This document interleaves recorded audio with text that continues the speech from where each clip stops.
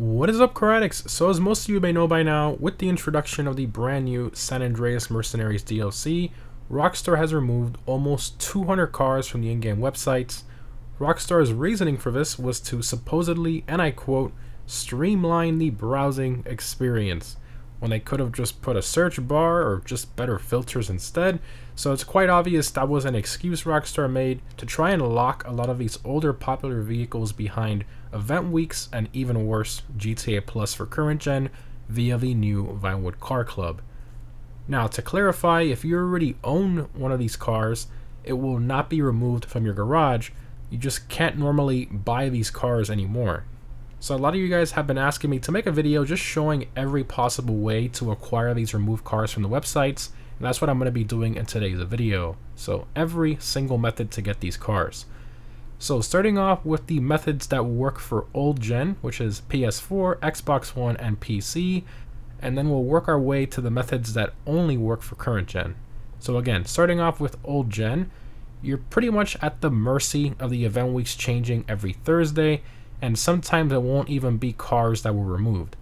So the first two possible methods are of course the Casino Podium and the LS Car Meet Prize Ride. So at the time of this recording, unfortunately, the two for this current event week are not cars that were removed. So in this case, you're going to have to hope next week is one of those cars that were removed. Continuing to the third method, we have the LS Car Meet Test Ride cars. So you can actually go up to these and buy them and for example, during this current event week at the time of this recording, the Verlier and the GP1 cars were removed. So if you don't own either one of these, that would probably be your best chance to pick them up. Continuing to our fourth method, we have the dealerships.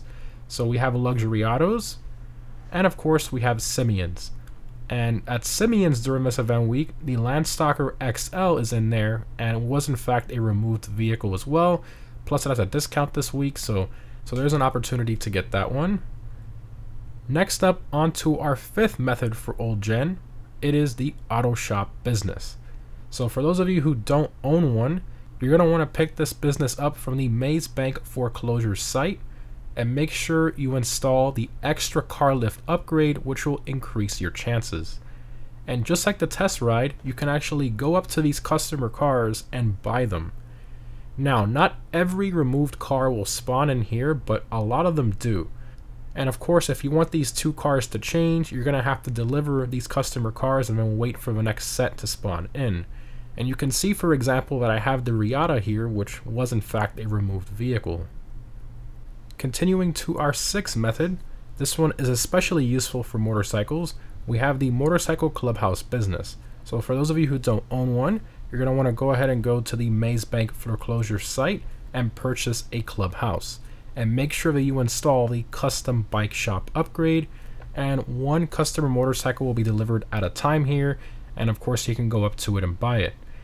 And just like the auto shop, if you want this bike to change, you're going to need to deliver this customer motorcycle and then wait for the next one to spawn in.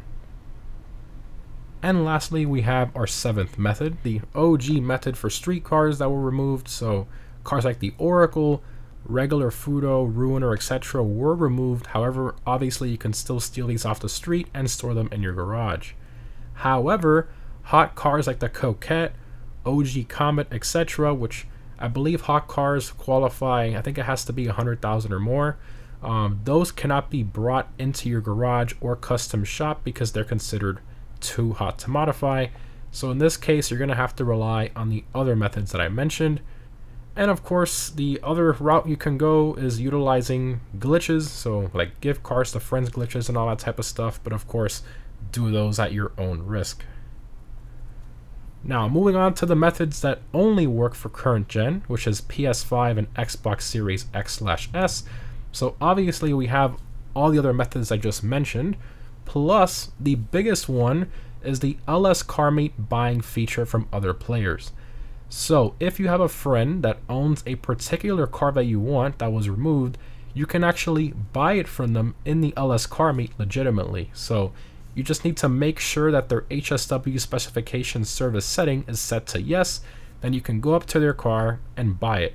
So this is especially useful if you're in a large Discord server or any large community where you can ask others in there if they own a car that you happen to be looking for, and then you guys can just meet up in game and buy it there.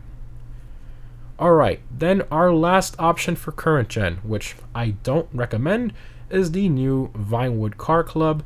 This one is located at the docks. Anyone can go in there.